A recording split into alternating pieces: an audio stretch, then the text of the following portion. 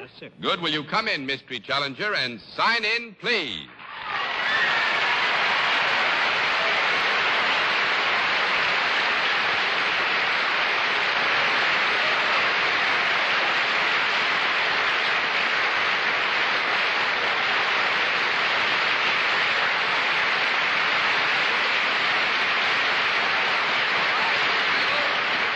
Challenger, and sign in, please.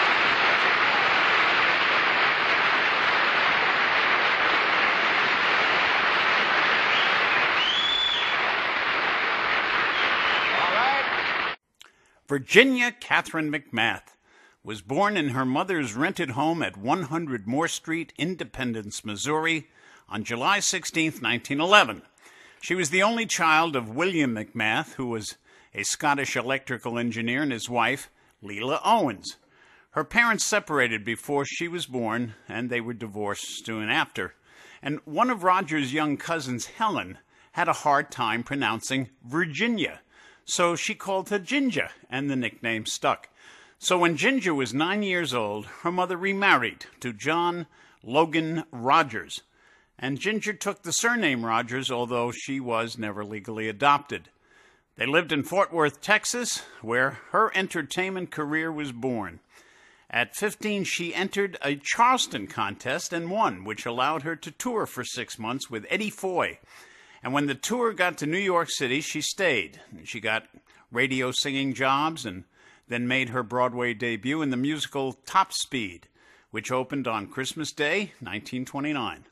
And two weeks later, she was chosen to star on Broadway in the Gershwin's Girl Crazy, which made stars of her and Ethel Merman. In 1930, she was signed by Paramount Pictures to a seven year contract, but soon she got herself out of the Paramount contract and signed with RKO.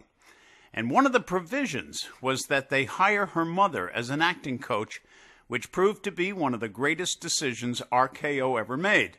Leila Rogers was a force of nature, and even those with real talent needed all the help they could get.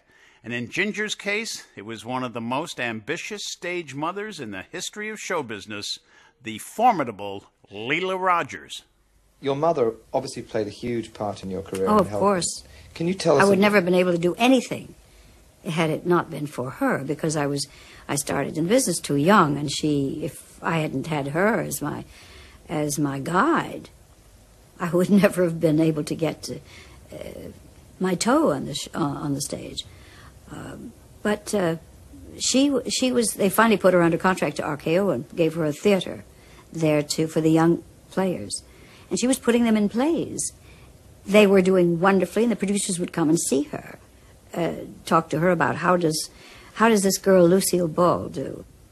That was a wonderful thing that Leila Rogers was doing. That Ginger's mother, uh, besides taking very good care of Ginger, uh, found time to help the younger people on the lot and invited us to a workshop that she was conducting. And uh, she was studying with um, several people, as a matter of fact. And she would go to her lessons and come and directly give what she had learned to us. And we were in her workshop on the lot three or four times a week. She was very valuable because she was more or less right about everything, which was hard for me to, to swallow because mothers and daughters sometimes cross swords when it comes to making decisions. And so I crossed swords with her many times, but I adored her. And I, I knew that she was giving me the best she understood. But um, my staying with RKO, I, I really loved staying with that studio, and she was all for my staying with them.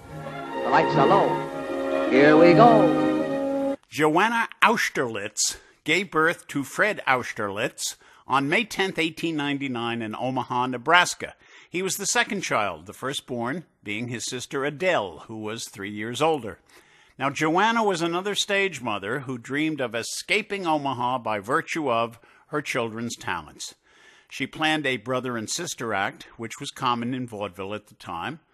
The family moved to New York City in 1905 to launch the show business career of the children, where she changed their name to Astaire.